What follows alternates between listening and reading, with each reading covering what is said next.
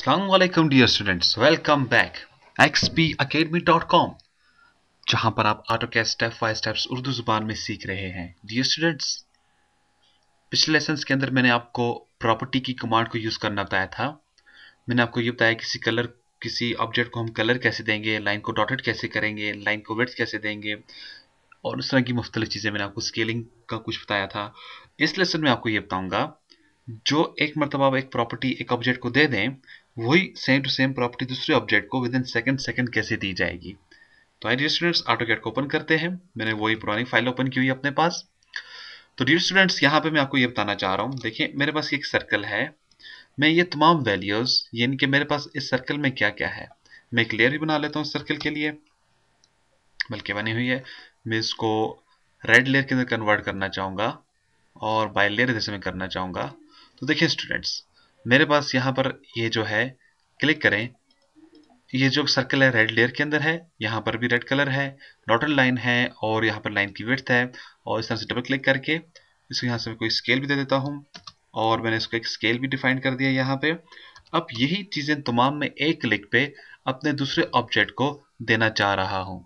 क्योंकि आप अगर मैं इसको वापस इधर क्लिक करूँगा, सबसे पहले लेयर के अंदर डालता हूँ, फिर मैं यहाँ से सेटिंग करूँगा, इधर से सेटिंग यहाँ सेटिंग डबल क्लिक करके सेटिंग तो बहुत टाइम आपका वेस्ट होगा। तो देखें, ये जो चीज़ है, आपके पास, आप सिलेक्ट करें इसे, आपके पास ऊपर आती है मैच प्रॉपर्टी की ऑप्शन देखें, ये क्या है? मैच प्रॉपर्टी आप मैच प्रॉपर्टी के बटन के ऊपर क्लिक करें। क्लिक कर देने के बाद जस्ट उस ऑब्जेक्ट के ऊपर क्लिक करें, जिसके ऊपर आप ये तमाम चीज़ें लाना चाह रहे हैं। मैंने इसको क्लिक किया तो देखें स्टूडेंट्स और मैं इसको भी क्लिक कर देता हूँ। तो स्केप कर देता हूँ। अब देखिए, अगर मैं इसे क्लिक करूँगा तो वो तमाम प्रॉपर्टीज़ इसके ऊपर ट्रांसफ़र हो चुकी है। इस तरह अगर आप ये प्रॉपर्टीज़ अगेन इनके ऊपर लाना चाह रहे हो, इधर आ जाए।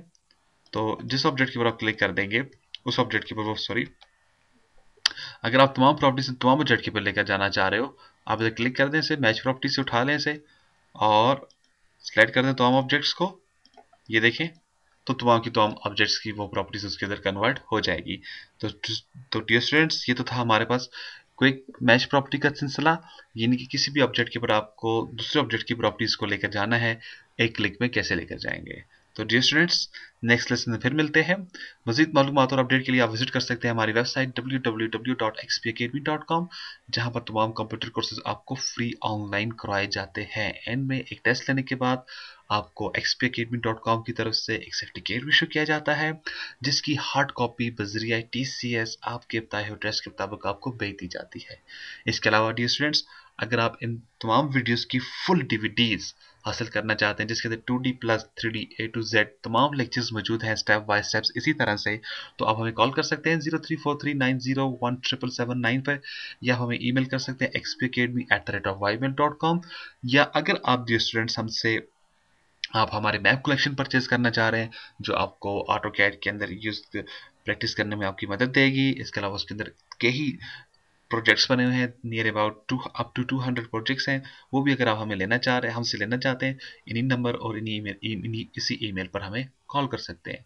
तो इंशाल्लाह नेक्स्ट सेशन फिर मिलते हैं, उस वक्त तक के लिए मैं आपसे इजाज़त चाहूँगा, अपनी दुआ में याद रखिएगा अस्सलाम वालेकुम